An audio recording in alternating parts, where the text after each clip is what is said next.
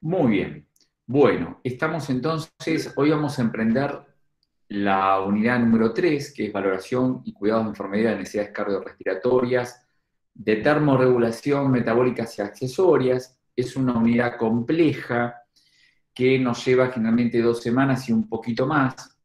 Recuerden que hasta la unidad 4 inclusive está eh, en, el, en el primer parcial por tomarse, que como ya eh, la misma página les avisó, ¿sí? está planificado y está informado. Algo que quiero compartir con ustedes, voy a bajar a pie de página como siempre hacemos, donde están a veces los avisos, las novedades.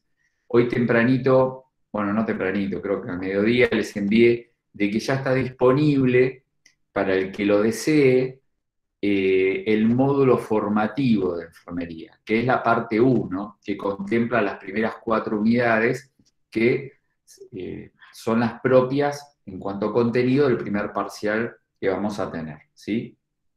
Entonces, aquella persona que le guste más poder prestar la atención a una lectura física en papel, bueno, se lo puede grabar en un pendrive y llevarlo al centro copiado que ustedes consideren oportuno hacerlo. ¿Sí? Como acá les puse, tienen la libertad de imprimirlo al módulo donde gusten hacerlo, por cercanía, por tiempos, por costos. Eso lo manejan ustedes como estudiantes de educación superior. Cuando estamos en la presencialidad, cosa que ahora todavía no lo estamos pudiendo hacer, yo soy dejar en un centro de copiado de la escuela eh, una copia matriz de este módulo. Pero estando en la virtualidad, el alumno toma ese compromiso y va donde guste hacerlo. ¿Ok? Así que si ustedes hacen clic ahí, se lo bajan en PDF y también lo tienen en PDF, el módulo eh, formativo es una mixtura entre lo que teníamos hasta el 2019 y lo nuevo que le agregamos vía plataforma. Así que van a encontrar mm, un cierto aire de familia entre el módulo y lo que está en la plataforma. ¿sí? No están los videos solamente, pero están los hipervínculos y eventualmente hay algunas imágenes y otras que no. Entonces, todo hace a herramientas de estudio que ustedes tienen. ¿sí? ¿Alguna duda, alguna consulta en relación al módulo formativo? No, la verdad que no. ¿No? Ok. Bueno, entonces es totalmente optativo el que diga, no, yo leo de la plataforma, escucho las clases, perfecto, no hay ningún problema.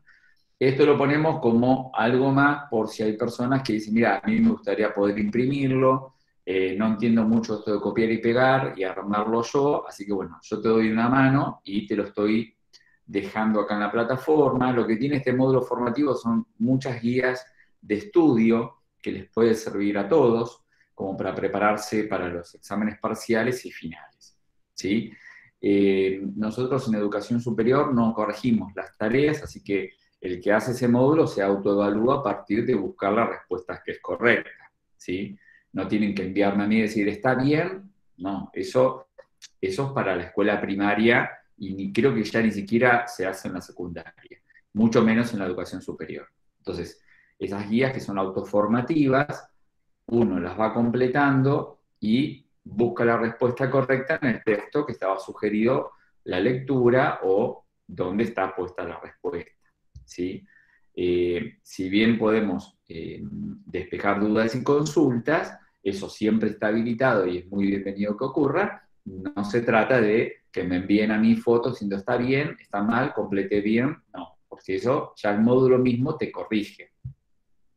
¿Ok? Muy bien.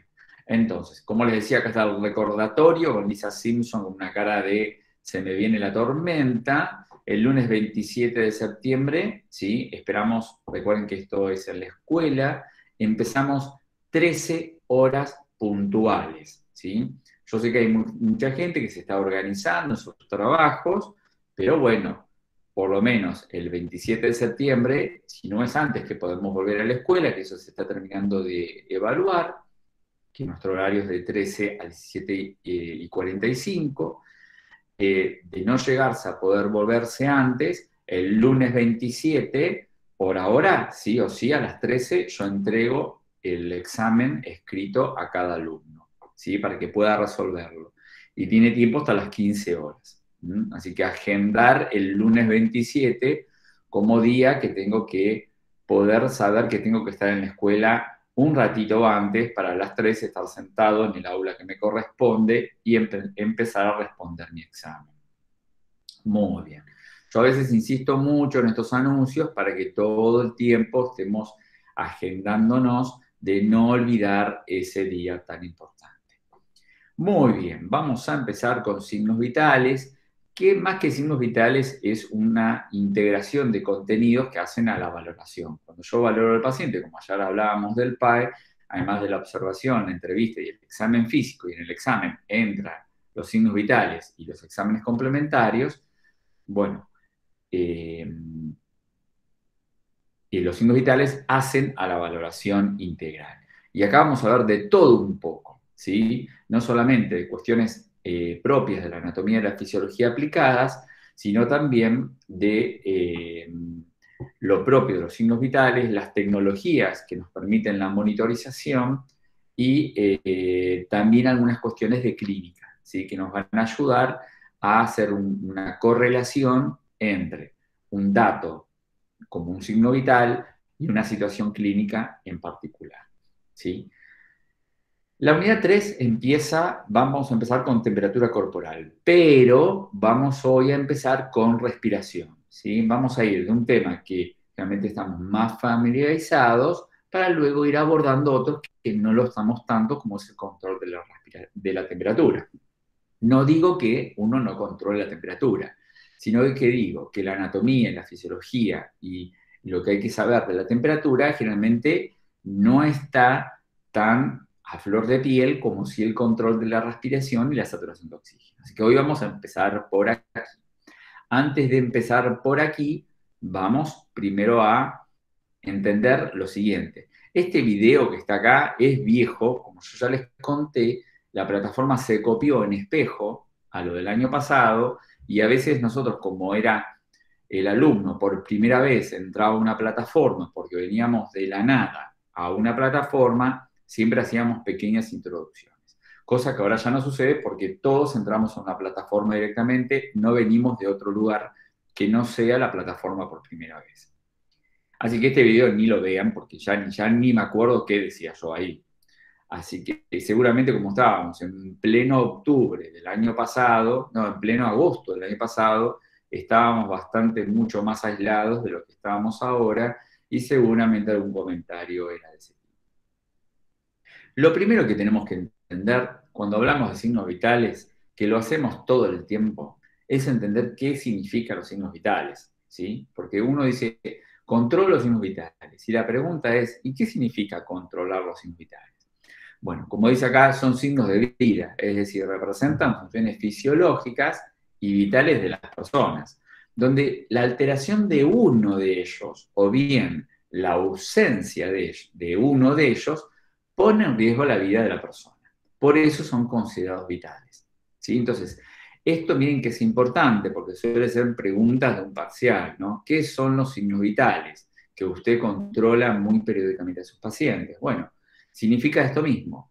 Son signos que representan funciones fisiológicas y vitales de la persona donde la alteración, ¿sí? O la ausencia, que es peor todavía, de ese signo en particular pone en riesgo la vida del paciente o de la persona, ¿sí? Son signos vitales y todos estos los vamos a ver. La temperatura corporal, que puede ser monitorizada. Fíjense en estos términos que estamos usando y a partir de ahora estaría bueno copiar monitorización, ¿sí? Monitorización parece que viene de algo que estoy viendo en una pantalla. No precisamente significa eso. Monitorizar significa tomar control sobre algo y visualizarlo. ¿sí? No hace falta una pantalla, yo puedo ver el esfigmomagnómetro, puedo ver un termómetro, ¿sí?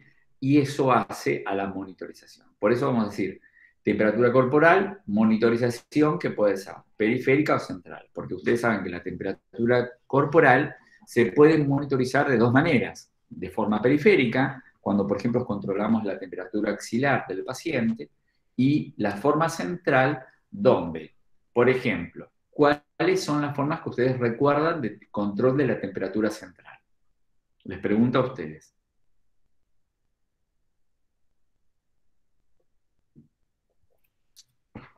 ¿No es a través del hipotálamo, profe? No. ¿Corazón? ¿Dónde ustedes controlan la temperatura corporal? Recto.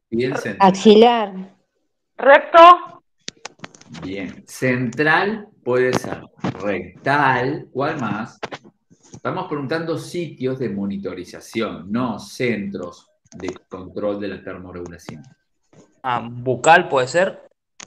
Bien, bucal, ligeramente. Axilar. Bueno, rectal, anal también. Es que eh, Inguinal. se dice rectal, no se dice anal.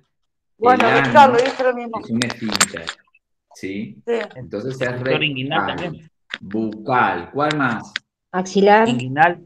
No, la Los axilar. oídos.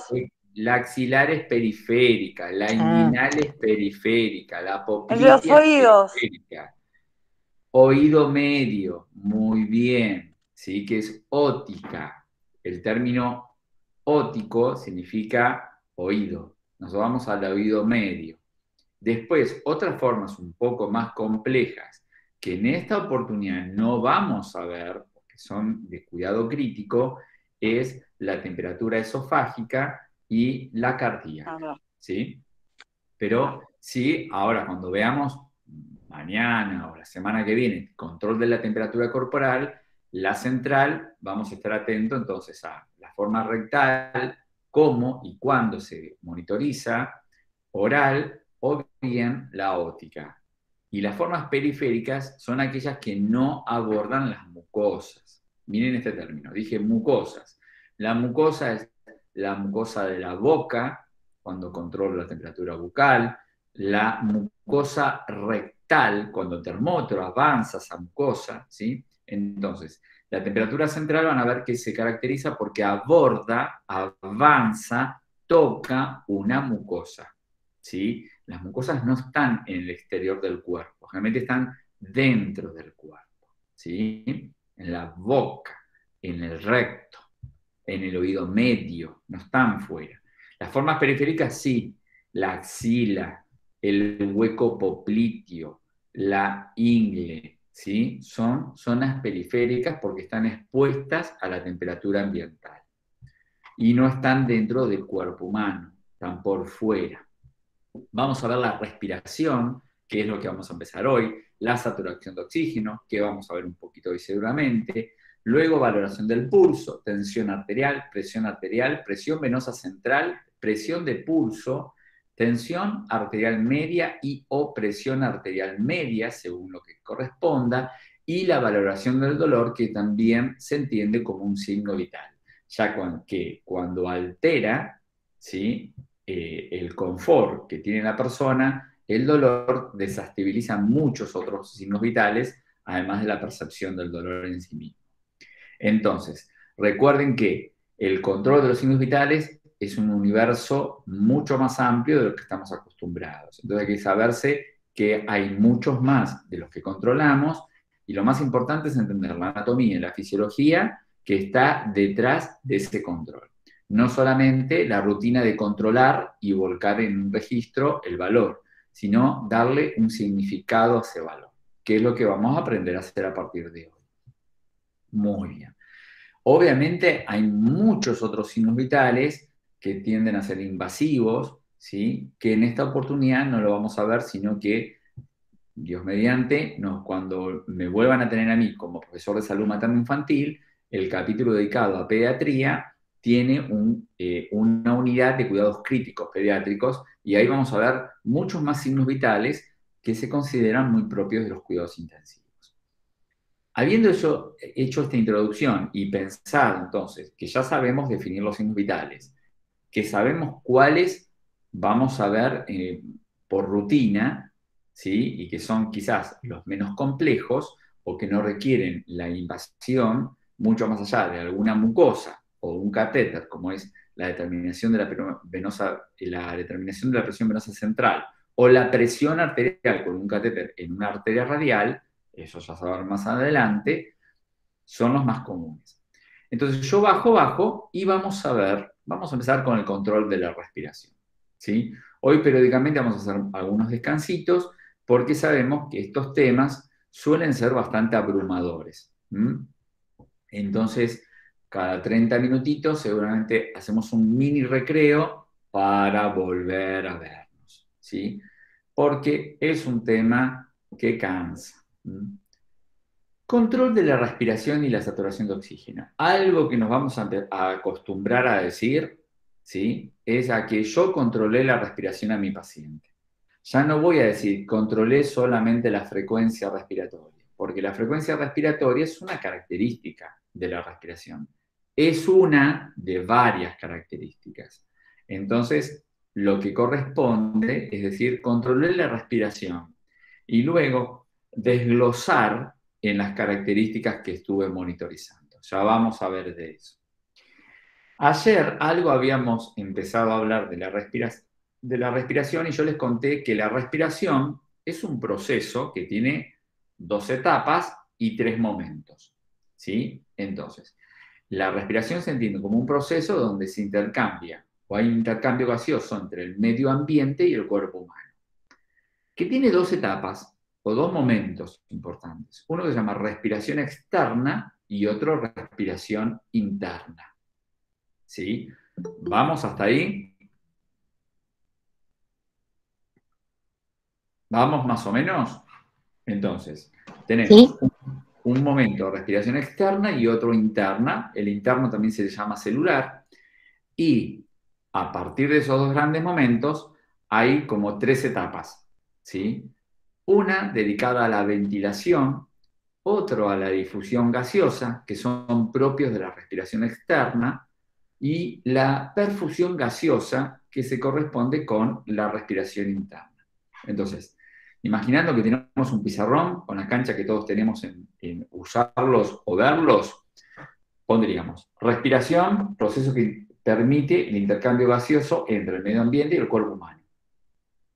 ¿Sí? Dos flechas, respiración externa, respiración interna. ¿Sí? La interna abajo le ponen entre, entre paréntesis o celular. Y luego de respiración externa, otras dos flechitas ventilación y difusión gaseosa, y donde decía respiración interna, una flechita que diga perfusión gaseosa. ¿sí? Es como para que ustedes también se vayan armando un esquema para luego poder, cuando lo lean esto, para estudiar para el parcial, también tengan una forma más esquemática de la oración. Pero bien, antes de entrar en qué es ventilación, difusión y perfusión, que son fenómenos físico-químicos, en la respiración en este caso, tenemos que entender que la respiración no es algo que la podamos controlar nosotros, sino que tiene cierto automatismo a partir de que el sistema nervioso central se hace cargo de que eso ocurra. ¿sí? Entonces, acá hay un corte sagital, ¿sí? hay un corte sagital de la masa encefálica y el tronco del encéfalo. ¿sí? Esto se llama tronco del encéfalo, ya dentro de poquito en ciencias biológicas, van a empezar a ver sistema nervioso. Seguramente eh, empezarán con células. Por ejemplo, ¿qué vieron el, jueves pasado? no, el miércoles que tuvieron biológicas.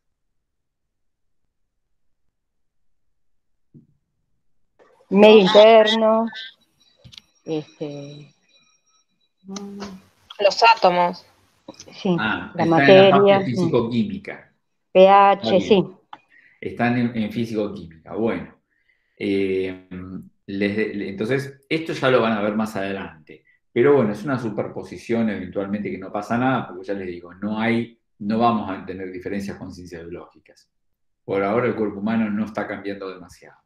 Entonces, haciendo un corte sagital de lo que es la masa cerebral y eh, el tronco del encéfalo, mirá que todo esto está en tu bóveda craneana, ¿eh? no es que el tronco del encéfalo lo tenés en la columna cervical, no, en la columna cervical está la columna cervical, ¿sí? Esperen me voy a fijar a ver si hay alguien... No.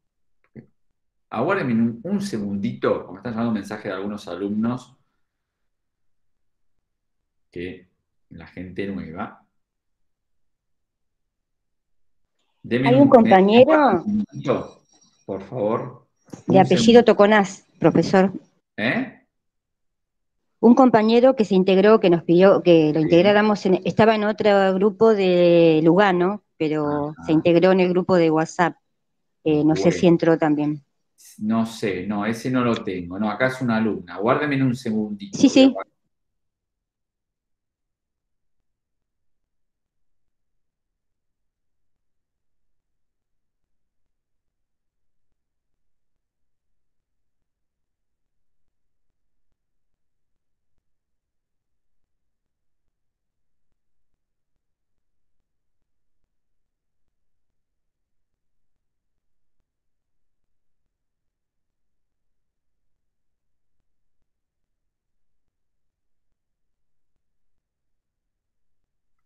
Bien, listo, ya está. Nos estaba respondiendo a una alumna que es nueva, que me decía dónde estoy, dónde me encuentran, y bueno, estaba explicando dónde estamos.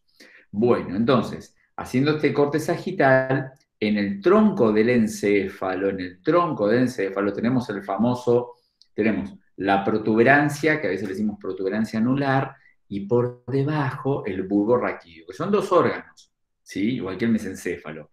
Son tres bueno, acá tenemos cuatro órganos totales, mesencéfalo, protuberancia, bulbo raquídeo y medio espinal. Yo ahora le quiero prestar toda la atención a la protuberancia al bulbo raquídeo, que son dos órganos que están en el tronco del encéfalo. Anoten esto, porque mira que acá no está escrito tronco del encéfalo. Y puede pasar que mañana te digan o te pregunten, ¿dónde está la protuberancia anular y el bulbo raquídeo? Bueno, están en la protuberancia, no están en la médula espinal, no están en el mesencéfalo, no están en la masa cerebral está en el tronco del encéfalo. Entonces, en estos dos órganos hay células que están distribuidas en esos dos órganos eh, y forman todas ellas el centro respiratorio. ¿sí? El centro respiratorio no es un lugar puntual, si yo digo acá, ahí en ese puntito está el centro respiratorio. No, son células que se han especializado y que forman parte del centro respiratorio y que están distribuidas en la protuberancia y en el bulbo raquídeo. ¿Sí? Entonces, como ven acá los dibujitos, hay muchas que están distribuidas, pero siempre en estos dos órganos, protuberancia anular y bulbo raquídeo.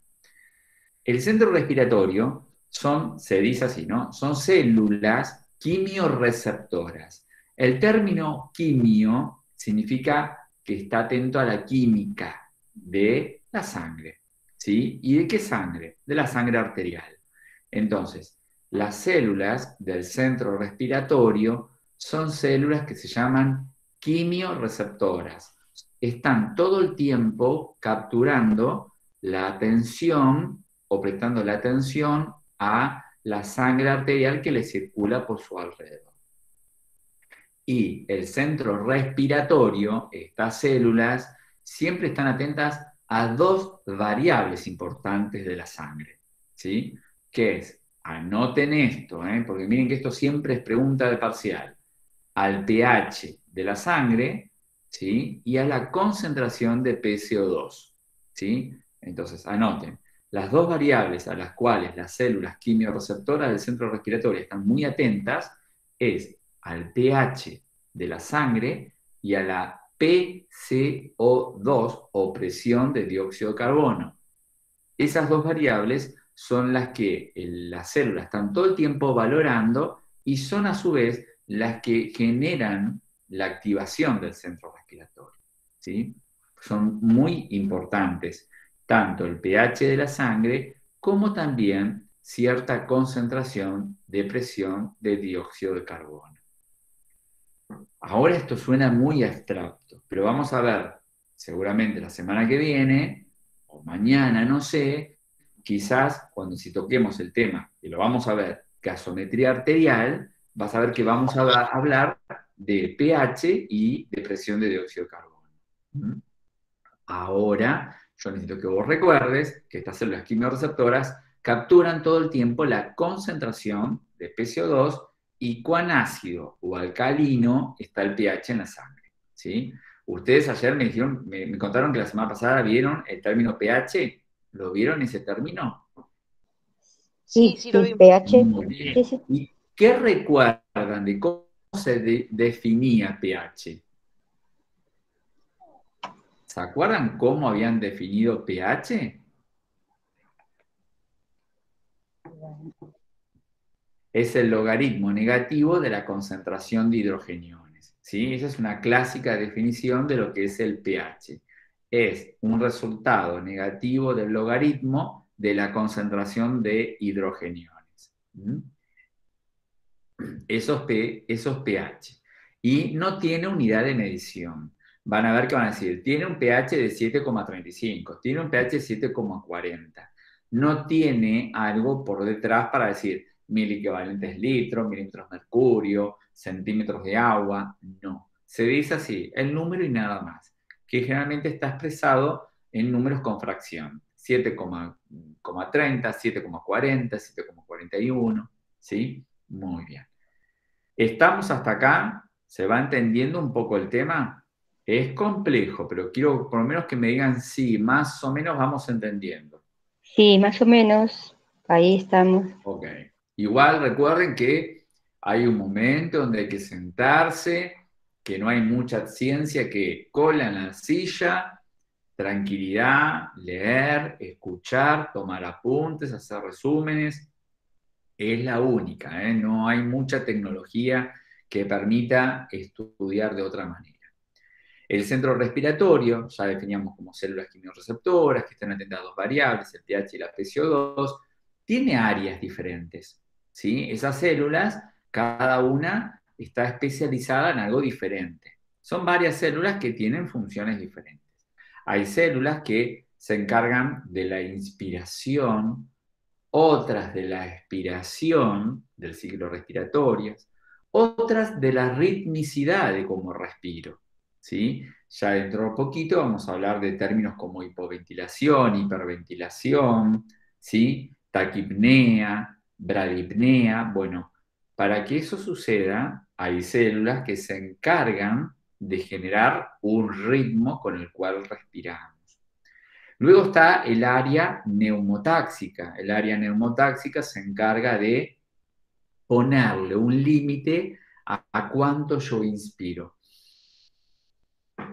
Ese, ese límite de cuánto es mi capacidad de inspirar lo pauta el área neumotáxica. Y el área apnística, que viene de apnea, ya vamos a ver más adelante ese término, es el que controla los momentos para inspirar y expirar, pausa, inspirar, expirar, pausa. ¿Sí? Muy bien, así que como ven, el centro respiratorio tiene diferentes áreas a partir de todas estas celulitas que distribuidas entre la protuberancia, el bulbo raquídeo, que estaban donde la protuberancia al bulbo raquídeo, ¿en qué parte están? Que se llama, ¿están en el cerebro? No. Muy bien, en el tronco del encéfalo.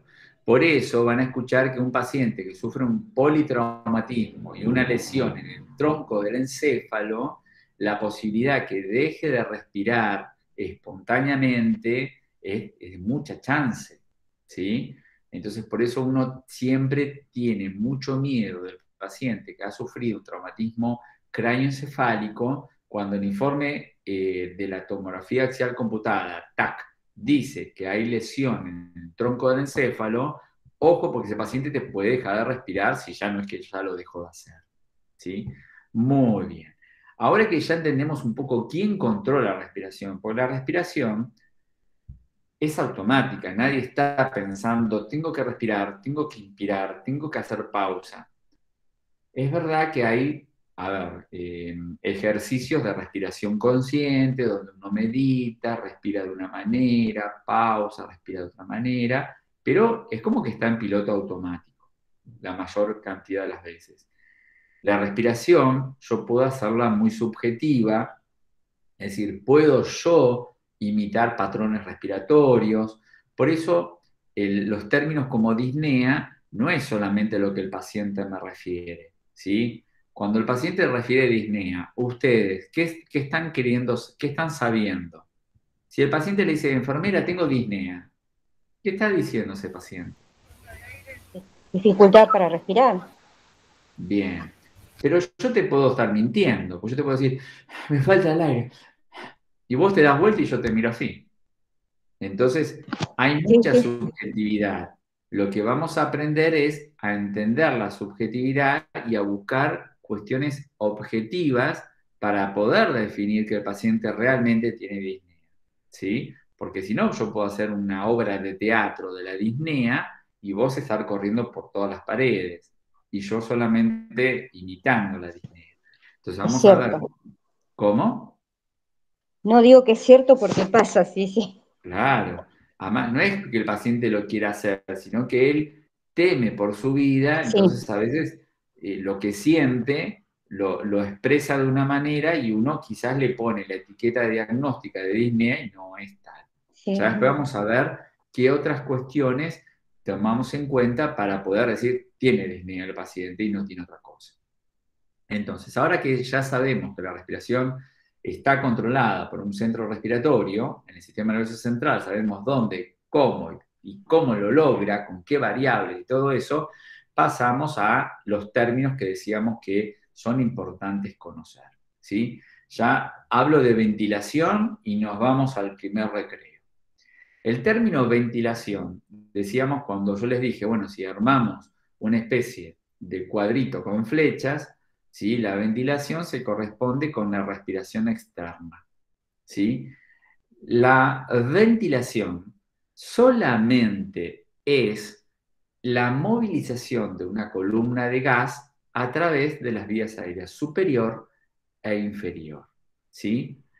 que es un desplazamiento de gases que se producen con cada ciclo respiratorio.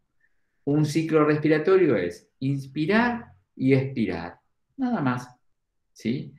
Pero el término ventilación, recuérdenlo, cuando yo digo mi paciente está ventilando espontáneamente, lo único que estoy diciendo, no es poco, pero lo único que estoy diciendo es que mi paciente, cada vez que inspira y expira, ciclo respiratorio, está desplazando una columna de gases por su vía aérea superior e inferior.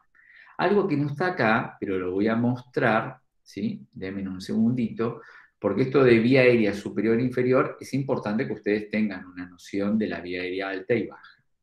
Entonces, me voy a mi materia de la mañana, denme un minutito, acá está.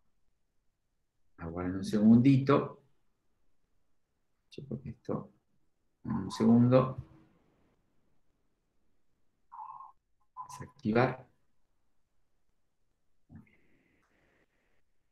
Vamos a la mañana, que estoy dando patología respiratoria en pediatría, y acá estamos. Bien. ¿Vemos acá esto? ¿Estamos viendo lo que estoy mostrando ahora, que dice vía aérea baja y alta? Sí, Bien. Esta imagen lo que te permite a vos, ¿qué acabo de decir yo? Que la ventilación es un proceso de movilización de una columna de gases en la vía aérea alta y baja, con cada ciclo respiratorio. Miren que la ventilación es eso y no es otra cosa. Cuando te pidan defina ventilación, tenés que hablar de eso. No puedes decir, es cuando el paciente respira. No, porque la respiración es un combo y en ese combo está la ventilación. Es importante reconocer la vía aérea. La vía aérea se divide en dos, alta y baja, extratorácica e intratorácica. Vamos primero por lo que es bajo y alto. La mayoría de los autores, porque pueden encontrar una diferencia, la mayoría de los autores, y nosotros hemos decidido unificar el criterio en estos autores, dicen que la vía aérea alta es mi cavidad nasal, la faringe y la laringe. ¿Sí? Entonces, todo esto es vía aérea alta, que participa de la vía aérea extratorácica, porque está fuera del tórax. Una porción de la tráquea participa de la vía extratorácica. Debajo de la laringe, este pedacito de tráquea está fuera del tórax. Por eso se dice que la tráquea, a pesar de ser una vía aérea baja, tiene una porción alta. ¿Y la glotis? ¿eh? ¿La, La glotis? glotis no es un órgano. Estos Ah, son órganos de la vía aérea. ¿sí? La glotis es un mecanismo valvular.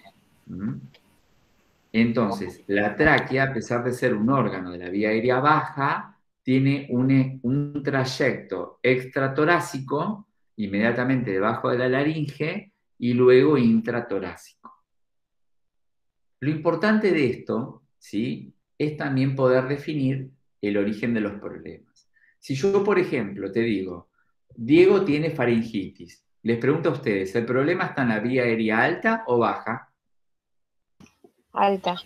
Muy bien. Diego tiene laringitis, ¿el problema está en la vía aérea alta o baja? Alta. Alta. Alta, muy bien.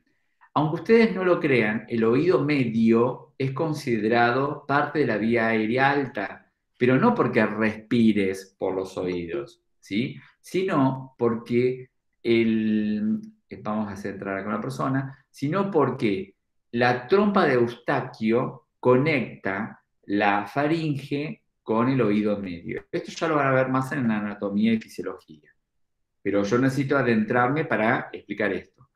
Una otitis media aguda. ¿Escucharon ese término alguna vez? Quizás los que tienen niños. Sí.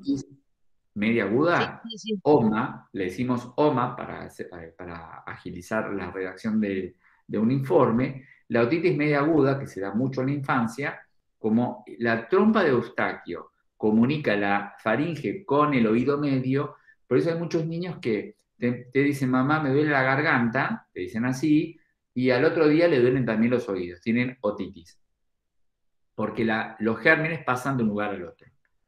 Entonces, la otitis media aguda se considera una infección, por ejemplo, de la vía aérea alta, ¿sí? Pero no porque respirás, sino por la vecindad, porque son muy vecinos uno del otro. También, por ejemplo, eh, las adenoides, ¿sí? Que son eh, glándulas eh, linfáticas, cuando inflaman, comprometen la vía aérea alta. Si tengo una adenoiditis, tengo un compromiso vía aérea alta. Si tengo rinitis, ¿tengo alta o baja? Alta. Alta. Alta, muy bien. Tengo un paciente que estaba, tenía una traqueostomía y eh, ahora la- lamentablemente quedó con una traqueitis. El- recuerden que el sufijo, es decir, cómo terminan las palabras, itis significa inflamación, laringitis, faringitis, traqueitis, proceso inflamatorio de la tráquea. Yo te pregunto, ¿es vía L alta o baja? Baja. Baja, muy bien. Y seguramente de la vía aérea extratorácica.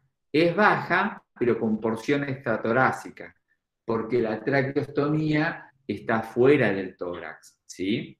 Esa porción de la tráquea no es torácica, sino saldría de acá la, la. La tráquea luego se bifurca, se bifurca, se bifurcar ¿qué significa? Se divide en dos bronquios, ¿sí? Que se llaman fuentes, bronquios fuentes. Tenés el bronquio fuente derecho y el bronquio fuente izquierdo. Si vos vinieras por la tráquea, el bronquio fuente derecho es el más grandote y casi está rectilíneo a la tráquea. ¿sí? Yo vengo por la tráquea y de repente hacia la derecha aparece el bronquio fuente derecho, que es grande y generoso. En cambio, el bronquio fuente izquierdo, plum, apareció así abruptamente a la izquierda.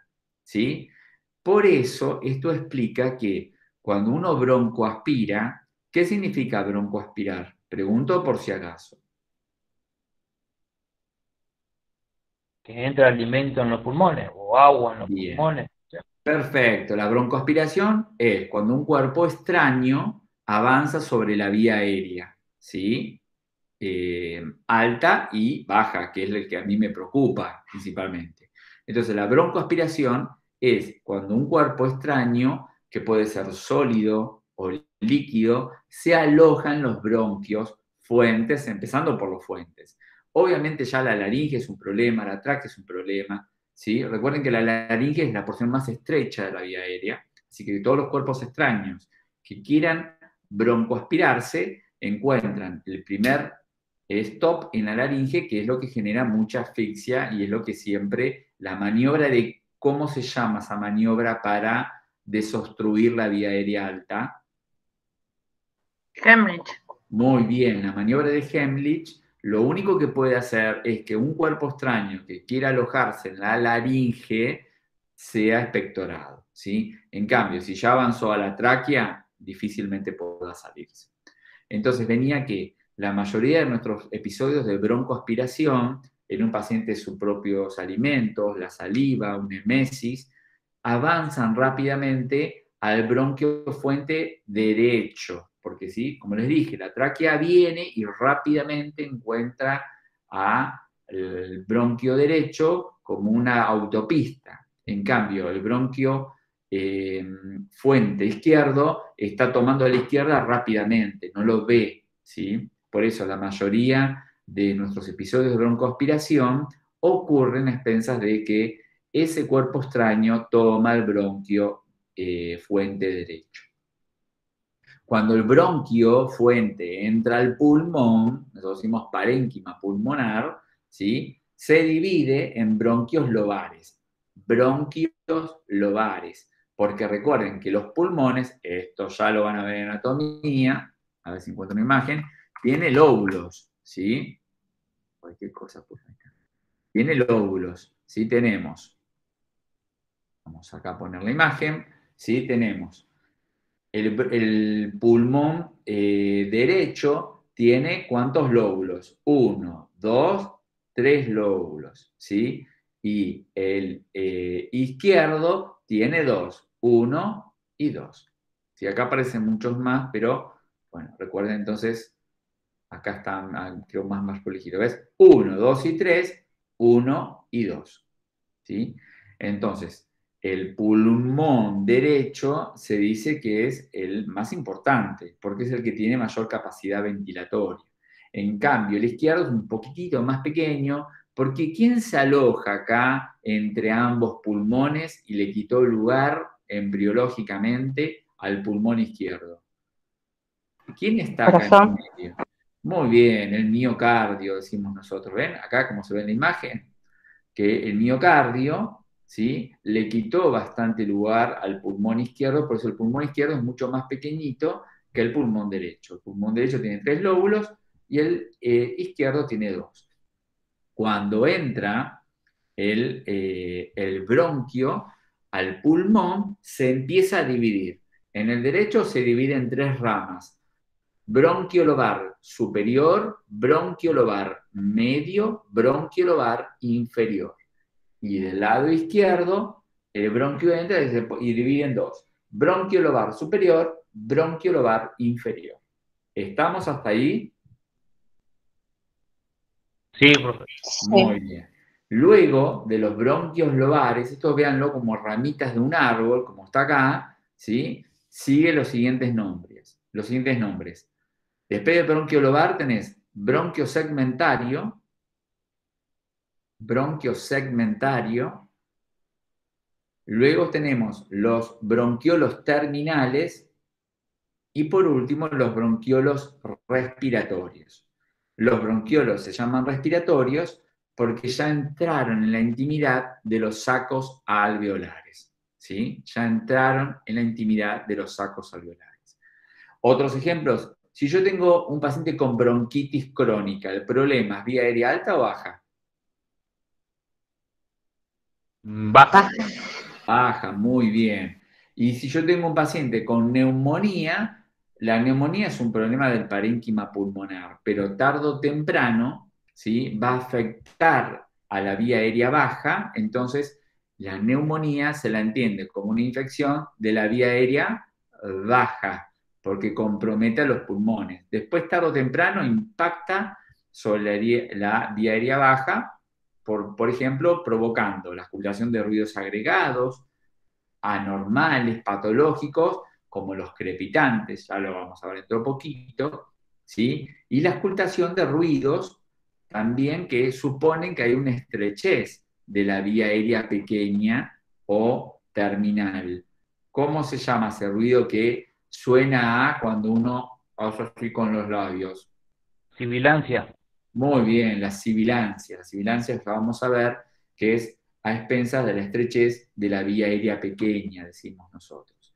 Muy bien. Habiendo entonces visto un poco eh, la, la vía aérea alta y baja, podemos entender esta definición, que la ventilación se define como la movilización de una columna gaseosa a través de las vías aéreas superiores e inferiores. ¿sí? Mirá que todo esto es importante, porque a mí me encantan los exámenes hacerte dibujar. Quizás alguien te diga, dibuje eh, así simple la vía aérea alta y baja y qué partes la componen. ¿sí? Dibujar, yo, a mí me encanta usar el pizarrón, yo no uso PowerPoint en la escuela, todo es pizarrón, pizarrón todo el tiempo y marcadores, porque es una manera también de recordar siempre aquello que se aprende. ¿sí? Una imagen, uno la ve 10 veces, pero una vez que te sentás a dibujarlo, se memoriza mucho mejor. Muy bien, entonces, el proceso ventilatorio es solamente este desplazamiento de gases que ocurre con cada ciclo respiratorio, inspiración y expiración, y recuerden algo muy, pero muy importante. ¿Qué recubre a los pulmones? Hay unas membranas que recubren los pulmones. ¿Cómo se llaman? La pleura. Muy bien, y tenemos dos pleuras, la que toca el parénquima pulmonar y la que tiene más contacto con la pared torácica. Eso tiene un nombre. La que toca los pulmones se llama pleura visceral. Anoten esto pleura visceral, porque no está escrito en la plataforma, ¿eh? en el módulo tampoco, porque nuestras clases son presenciales, yo te tengo que explicar esto y vos tenés que tomar apunte. Pleura visceral es la que toca o entra en contacto con el parénquima pulmonar. Y pleura parietal es la que toma contacto con la pared torácica. Entre ambas pleuras hay una virtualidad de muy poco líquido y casi nada de aire, lo que permite que el paciente inspire y expire sin provocar roces entre una pleura y la otra. Pero sí lo que permite esas pleuras es guardar una presión. Y es una presión que se llama negativa. ¿Sí? Entonces, la función que tienen las pleuras, ambas, es mantener y sostener persistentemente una presión negativa esa presión negativa es negativa en relación a la presión del ambiente y es lo que a vos te permite inspirar y expirar.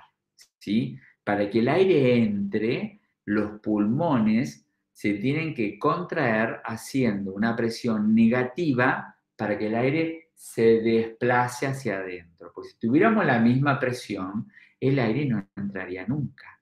En cambio, si yo contraigo los pulmones con una presión negativa, el aire ambiental encuentra que acá adentro hay menos presión, entonces tiende a entrar. Y lo mismo para salir. Entonces, recuerden esto es muy importante. La presión generada entre las pleuras intrapleural es negativa y es lo que genera la capacidad torácica de poder inspirar y expirar. ¿sí? Siempre la presión es negativa. Puede ser menos cuando inspiro y un poquito más cuando expiro, pero siempre negativa. ¿Por qué es importante esto? Porque hay pacientes que sufren lesiones pleurales y pierden la capacidad de presión negativa. Entonces les cuesta respirar. Por ejemplo, a alguno se le ocurre cómo se llaman algunos eventos de esos que perjudican la salud de las pleuras. Neumotórax puede ser, Muy bien, el neumotórax, que es la entrada de aire del exterior a la cavidad pleural, le quita presión negativa y el paciente te dice, te cuesta respirar. Y claro, te estás quedando sin presión negativa porque entra aire de afuera. Si entra sangre, ¿cómo se llama? Hemotórax. Hemotórax, muy bien. Hemotórax, perfecto. Después nosotros vamos a tocar un chiquitín el derrame pleural que ocurre cuando tengo una neumonía, ¿sí? Y no es sangre que entró de afuera o de adentro, sino es un exudado, es decir, es un producto eh, plasmático que se filtra por el pulmón y dice, ¿a dónde voy? ¿A dónde voy? ¿Y dónde va? A las pleuras, ¿sí? Porque encuentra un espacio vacío y lo ocupa. Y el derrame pleural también hace perder presión y al paciente le cuesta respirar. Y para irnos al recreo, ¿qué le van a poner a ese paciente? Un drenaje pleural sellado bajo agua. Eso nos permite ya adelantarnos y decir, cuando ustedes ven un paciente con un drenaje pleural, recordad, ¿cuál es la misión del drenaje pleural? Recuperar o mantener la presión negativa intrapleural del paciente. ¿Ves cómo se une la tecnología de un frasco bitubulado con la fisiología de las pleuras? Muy bien, vamos a, ir un pequeño impas, dejo de presentar, detengo la grabación.